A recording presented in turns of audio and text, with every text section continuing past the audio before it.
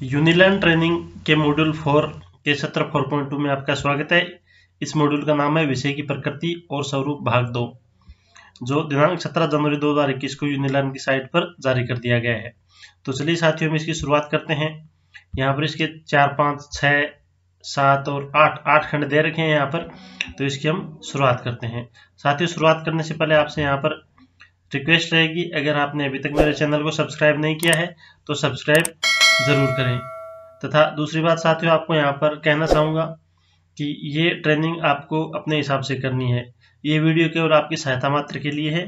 प्रशिक्षण आपको राज्य सरकार के दिशा निर्देश के अनुसार करना है। तो चलिए साथियों, इसकी हम शुरुआत करते हैं। सबसे पहले खंड फ़र्स्ट सत्र परिचय, जो आपको अन्य मॉड्यूल्स में करते आए हैं, आप उसी तरीके से आपको इसको करना है। इसके बाद दूसरा है खंड उत्साही शिक्षकों की नवाचार कथाएँ। तो इसको हम ओपन करते हैं। यहाँ पर साथियों आपको चारों विषय दे गए हैं। तो सबसे पहले हमें हिंदी को ओपन करते हैं। हिंदी के बारे में यहाँ पर लिखा हुआ है, उच्च शिक्षा की संस्था में दाखिला लेने के लिए इंटरव्यू से संबंधित। यहाँ पर यूसुफ जी के प्रश्न है और इस साइड में रुपेंद्र जी के प्रश्न है। नीचे की साइड में अगर हम देखें तो नौकरी लेने से संबंधित है यहाँ पर।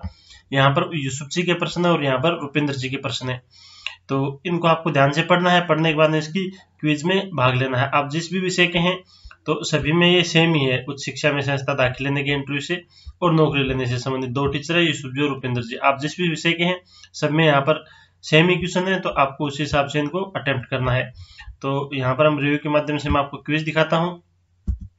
क्विज में साथियों, यहाँ पर प्रश्न दिया गया है, उच्च शिक्षा संस्थान में दाखिला लेने के लिए किस शिक्षक के इंटरव्यू के सवाल आपको बेहतर लगे? तो मुझे यूसुफ जी के बेहतर लगे तो मैंने यूसुफ जी लिखा है।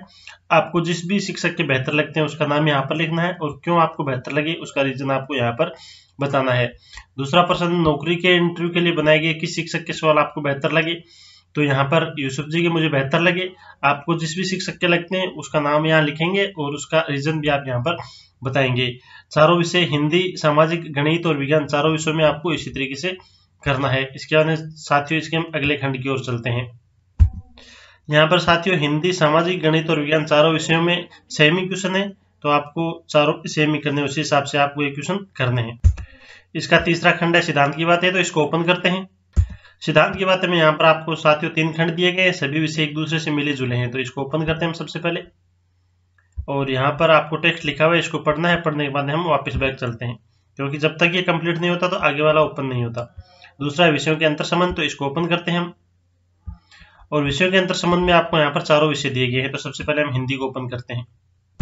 हिंदी की क्विज में साथियों, यहाँ पर एक साइड में आपको अभ्यास के उदाहरण दिए गए हैं। दूसरा विषय से संबंध आपको यहाँ पर सिलेक्ट करना है। तो ये कुछ उदाहरण है और यहाँ पर विषय से संबंध तो पहला मेरा गलत है। दूसरा, सामाजिक विज्ञान आएगा। तीसरे में विज्ञान आएगा। पहले का मैं राइट आंसर आपको यहाँ पर बता देता हूँ। पहले में विज्ञान, दूसरे में सामाजिक और तीसरे में विज्ञान। इसके बाद साथियों, हम बैक चल के बढ़ते हैं अगले विषय की ओर। सामाजिक विज्ञान विषय की इतिहास की पाठ्य पुस्तकों के यहाँ पर कुछ उदाहरण दे रखे हैं। अभ्यास के उदाहरण है और दूसरा विशेष संबंध आपको यहाँ पर सिलेक्ट करना है। तो पहले में आपका विज्ञान ऑप्शन राइट है, दूसरे में गणित ऑप्शन राइट है और तीसरे में हिंदी ऑप्शन तथा चौथे में भूगोल ऑप्शन यहाँ पर राइट आएगा। ये चारों सब्जेक्ट आपको इस हिसाब से चूज़ करने हैं। इसके साथ ही हम सबमिट करके और बैक चलते हैं, बढ़ते हैं अगले विषय की ओर। गणित विषय में साथ यहाँ पर गणित विषय की पाठ्य पुस्तकों के कुछ उदाहरण यहाँ पर दिए गए हैं। अभ्यास के उदाहरण और यहाँ पर विषय से संबंध है। तो सबसे पहला है कक्षा छह पाठ पाँच प्रारंभिक आकारों को समझना। तो कौन से विषय से संबंध करेंगे? यहाँ पर इसका राइट आंसर है विज्ञान। दूसरे का राइट आंसर भी विज्ञान, तीसरे का राइट आंसर सामाजिक विज्ञान। ये तीनों आपको सिलेक्ट करने हैं। इसके अन्य अनुसार हम सबमिट करके बैक चलेंगे अगले विषय की ओर। विज्ञान विषय में यहाँ पर विज्ञान की पाठ्य पुस्तक के कुछ उदाहरण दिए गए हैं। यहाँ पर अभ्यास के उदाहरण है। दूसरा विषय से संबंध है। पहला है कक्षा सात पाठ चार, उष्मा। तो इसको हम सामाजिक विज्ञान विषय से संबंधित करेंगे। दूसरे में भी सामाजिक विज्ञान आएगा। पाठ तीन रेशों से वस्त्रों तक। तीसरा है चुंबकों द्वारा मनोरंजन, इसमें भी सामाजिक विज्ञान आएगा। ये तीनों प्रश्न करने वाले साथी हम सबमिट करके और बैक चलते हैं। बढ़ते हैं अगले खंड की ओर।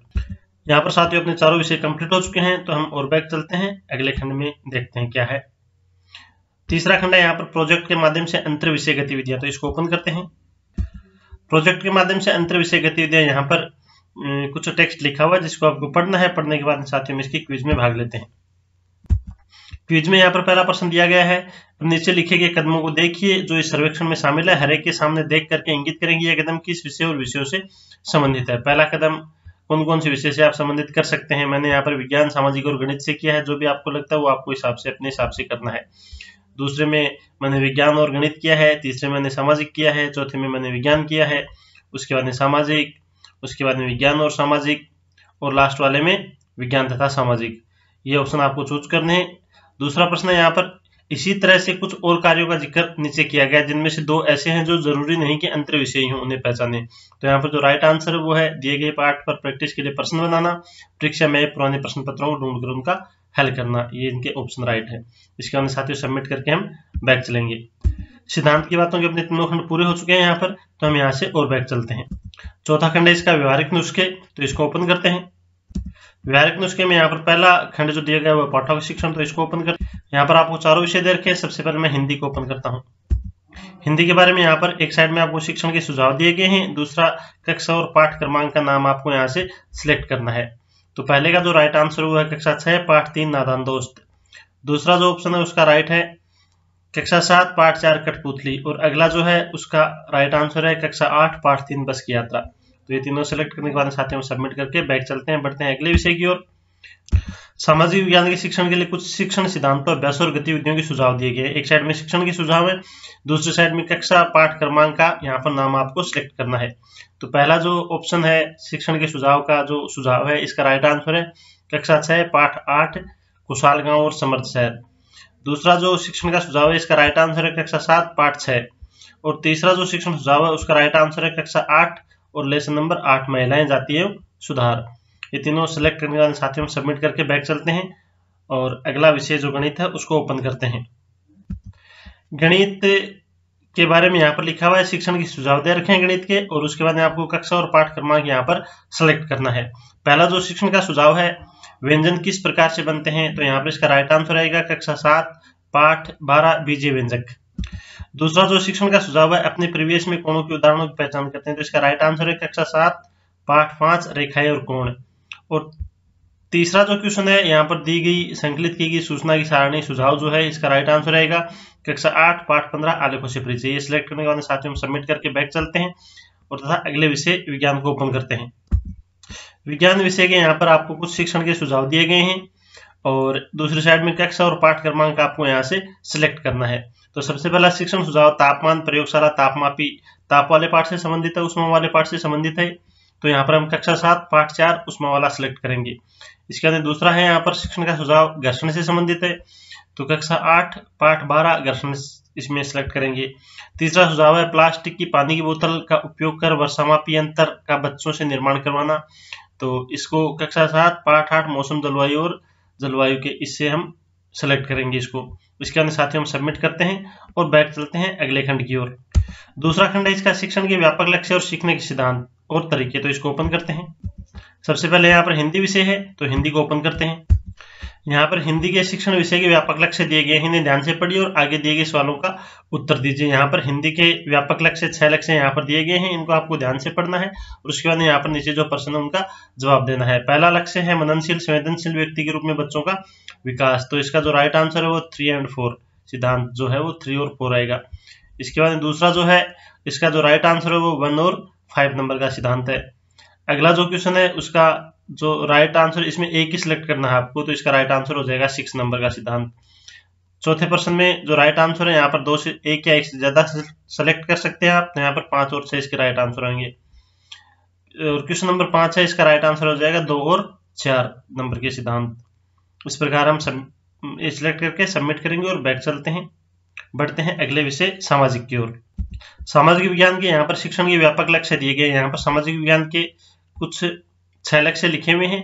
इन लक्ष्यों को आपको पढ़ना है। पढ़ने के बाद यहाँ पर जो प्रश्न उनका आपको जवाब देना है। पहला लक्ष्य है, इसका जो सिद्धांत है वो one, two, three, four, five number का सिद्धांत नहीं आएगा। यहाँ पर सिक्स नंबर, यानी फाइव को आपको छोड़ना है। सिद्धांत यहाँ पर आपको ऊपर लिखे हुए हैं। इन सिद्धांतों से आपको एक क्वेश्चन सिलेक्ट करने हैं। दूसरा जो है, उसका राइट आंसर है, वो आएगा एक, तीन, चार, पाँच और छह। मैंने यहाँ पर दो भी सिलेक्ट कर दिया, ये गलत है। यहाँ पर राइट है, एक, तीन, चार, पाँच और छ तीसरा जो, इसका जो राइट आंसर है वो है एक, तीन, चार, पाँच छ और अगला जो है उसका राइट आंसर भी एक, तीन, चार, पाँच, छह इसका राइट है।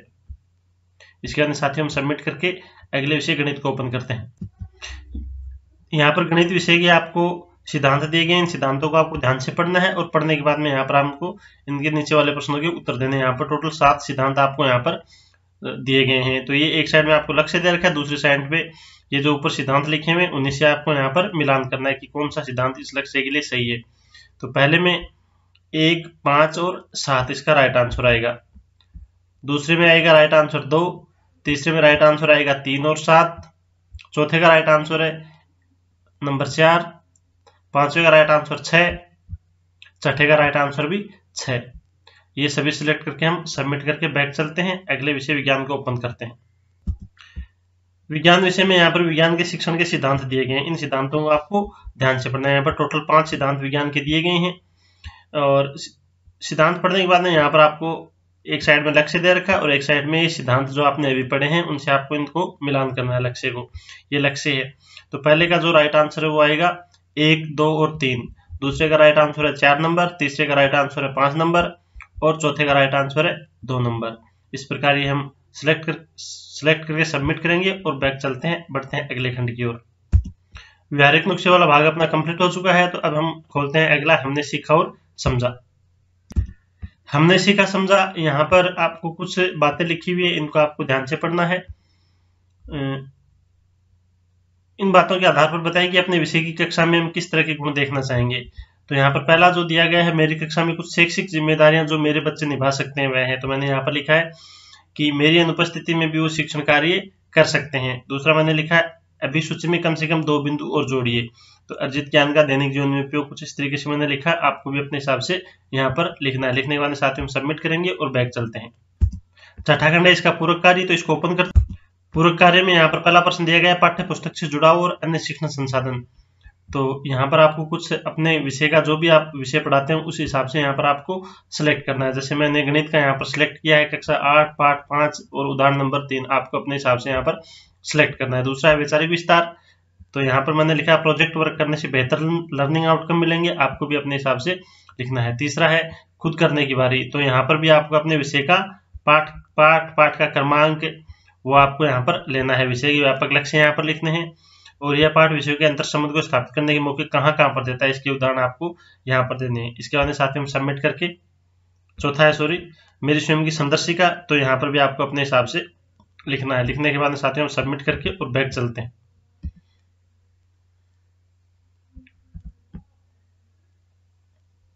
इसका अगला खंड है, सातवा सवाकलन तो इसको ओपन करते हैं। यहाँ पर भी आपको चारों विषय दे रखे हैं। सबसे पहले हम हिंदी को ओपन करेंगे। हिंदी की क्विज में यहाँ पर आपको कुल छह प्रश्न दिए गए, इन छह प्रश्नों का आपको आंसर देना है। तो पहला जो प्रश्न है, उसका राइट आंसर है मानव जाति और अन्य जीवों के निवास के रूप में पृथ्वी की अवधारणा का विकास करना। दूसरा जो प्रश्न है,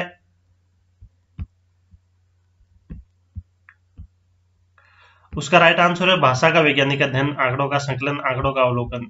तीसरा जो प्रश्न है, उसके राइट आंसर आप एक या एक से अधिक सेलेक्ट कर सकते हैं यहाँ पर तो इसके दोनों राइट आंसर ये हैं जो आपको स्क्रीन पर दिख रहे हैं। इसके अगला क्वेश्चन है हिंदी विषय के विषय को पढ़ाते समय इन क्रियाओं का प्रयोग करते हैं कौन सा तरीका उपयुक्त नहीं है? तो इसका राइट आंसर पाठ के दिए गए अभ्यासों के उत्तर लिखाकर याद कराना। अगला जो क्वेश्चन है, उसके राइट आंसर में फ़र्स्ट और सेकंड ये विभिन्न विषयों के विकसित किए गए कौशलों का उपयोग नहीं कर पाएँगे। समस्या समाधान करने तो सृजनात्मक का विकास नहीं कर पाएँगे। ये आपको यहाँ पर सिलेक्ट करने हैं। दो ऑप्शन यहाँ पर सिलेक्ट करने हैं। इसके अगला क्वेश्चन है, जिसका राइट आंसर, अब दो, तीन यहाँ पर आपको पहचानने हैं। तो ये तीन यहाँ पर मैंने इस तरीके से कर रखे हैं। इसके अंदर साथियों सबमिट करके बैक चलते हैं। अगला विषय सामाजिक ओपन कर। सामाजिक विज्ञान में साथियों, यहाँ पर पहला प्रश्न दिया गया है, जिसका राइट आंसर है अनुभव के आधार पर भाषा का सृजनशील इस्तेमाल करना। दूसरा जो प्रश्न है, उसका राइट आंसर है, दी गई सूचना के मुख्य बिंदु को निकालकर याद करना और लिखना। तीसरा जो प्रश्न है, शिक्षण सिद्धांत के कौन से सिद्धांत आपके विषय में लागू होते हैं? तो यहाँ पर आपको दो सिद्धांत सिलेक्ट करने हैं। इसके बाद चौथा प्रश्न है, शिक्षक विषय को पढ़ाते समय इन क्रियाओं का प्रयोग करते हैं। तो इसका राइट आंसर है पाठ को एक एक लाइन पढ़कर समझाना ये उपयुक्त नहीं है। अगला जो क्वेश्चन है, ये मेरा गलत हो चुका है। इसका जो राइट आंसर वो है समस्या समाधान करने के लिए सृजनात्मकता का विकास नहीं कर पाएँगे। ये तीन ऑप्शन यहाँ पर आपको सिलेक्ट करने हैं। अगला जो क्वेश्चन है, उसमें भी आपको तीन ऑप्शन सिलेक्ट करने हैं। इसके साथ ही हम सबमिट करके बैक चलते हैं। अगला विषय, विज्ञान सॉरी गणित ओपन करते हैं। गणित विषय में यहाँ पर पहला प्रश्न दिया गया, नीचे दिए गए व्यापक लक्ष्यों में से कौन सा लक्ष्य आपके विषय से नहीं जुड़ा है? तो इसका राइट आंसर है मानव जाति और अन्य जीवों के निवास के रूप में पृथ्वी की अवधारणा का विकास करना। दूसरा प्रश्न है जिसका राइट आंसर है, दैनिक जीवन में संख्याओं पर संक्रिया करने के तरीके को याद करना और लिखना। तीसरा जो प्रश्न है, उसमें लिखा हुआ है शिक्षण सिद्धांतों में से कौन से सिद्धांत आपके विषय में लागू नहीं होते हैं? तो यहाँ पर दो सिद्धांत आपको चूज़ करने हैं। अगला जो क्वेश्चन है, वो है शिक्षक विषय को पढ़ाते समय इन क्रियाओं का प्रयोग करते हैं। कौन सा तरीका उपयुक्त नहीं है? तो इसका राइट आंसर है, अभ्यास के सवाल को हल करना। क्वेश्चन नंबर पाँच है, यहाँ पर आपको तीन ऑप्शन सिलेक्ट करने हैं। और क्वेश्चन नंबर छह है, उसमें भी आपको तीन यहाँ पर सिलेक्ट करने हैं। मेरा ये क्वेश्चन गलत हो चुका है। इसके जो राइट आंसर है, वो है, सवाल पूछने के लिए प्रेरित करें, जानकारी तलाश करने के लिए रोचक और चुनौतीपूर्ण संदर्भ दें, विश्लेषण और तर्क के आधार पर राय व्यक्त करने के मौके दें। इसके बाद साथियों, हम सबमिट करते हैं। अगला विषय विज्ञान को ओपन करते हैं। विज्ञान विषय में यहाँ पर आपके सामने सबसे पहला प्रश्न लिखा हुआ है, जिसका राइट आंसर है, सामाजिक और राजनीतिक संस्थाओं के कार्य और सक्रियता तथा राष्ट्र की प्रक्रियाओं से छात्रों को अवगत कराना, इसका राइट आंसर है। दूसरा जो प्रश्न है, उसका राइट आंसर है, पाठ के दिए गए नियमों और सिद्धांतों को कंटेस्ट करना। तीसरा जो क्वेश्चन है, उसका राइट आंसर है यहाँ पर दो ऑप्शन आपको यहाँ पर चूज़ करने हैं। जैसे एक तो मेरा यहाँ पर आविष्कारता, रचनात्मकता और खोजी क्षमता को प्रोत्साहित करना। और दूसरा जो राइट आंसर है वो इसका सरल तकनीकी इकाइयों और मॉड्यूल को डिज़ाइन करने के लिए हाथों से काम करना, ये इसका राइट आंसर है। अगला जो क्वेश्चन है उसका राइट आंसर है पाठ को एक एक लाइन पढ़कर समझाना। इसके बाद अगला क्वेश्चन है, विषयों को अंतर संबंधित तरीकों से नहीं पढ़ाने से बच्चों को जो हानि हो सकती है वो है। यहाँ पर कोई तीन आपको यहाँ पर चूज़ करने जिस तरीके से मैंने चूज़ कर रखे हैं, वैसे ही आपको यहाँ पर चूज़ करने हैं। अगला जो क्वेश्चन है, समालोचनात्मक चिंतन का विकास करने के लिए ज़रूरी है कि हम यहाँ पर भी आपको तीन ऑप्शन सेलेक्ट करने हैं। इसके बाद साथियों, हम सबमिट करेंगे और यहाँ पर आपकी ये ट्रेनिंग है वो कंप्लीट होती है।